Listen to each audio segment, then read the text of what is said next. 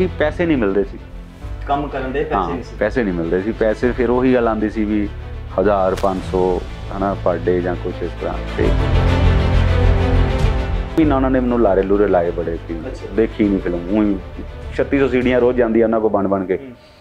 ਤੇ ਮੈਂ ਉਹਨਾਂ ਦੇ ਮਗਰ ਪੈ ਗਿਆ। ਮੈਂ ਕਿਹਾ ਬਬਲੀ ਭਾਜੀ ਵੀ ਫਿਲਮ ਤੁਹਾਡੇ ਤੋਂ ਰਿਲੀਜ਼ ਕਰਾਣੀ ਆ। ਚਾਹੇ ਕੱਖ ਨਾ ਦਿਓ ਮੈਨੂੰ।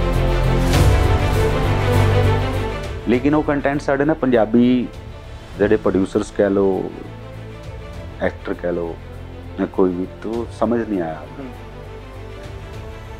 ਇਹ ਵੀ ਕੋਈ ਕੰਟੈਂਟ ਹੈ ਐਸੇ ਐਸੇ ਜਿਹੜੇ ਹੁਣ ਇੱਥੇ ਕਾਸਟਿੰਗ ਡਾਇਰੈਕਟਰ ਆਪਣੇ ਆਪ ਨੂੰ ਕਹਿੰਦੇ ਨੇ ਚਲੋ ਮੈਂ ਨਹੀਂ ਜ਼ਿਕਰ ਕਰਦਾ ਜੀ, ਜੀ। ਜਿਨ੍ਹਾਂ ਨੂੰ ਇਹ ਵੀ ਨਹੀਂ ਪਤਾ ਕਿ ਕਾਸਟਿੰਗ ਡਾਇਰੈਕਟਰ ਹੁੰਦਾ ਕੀ।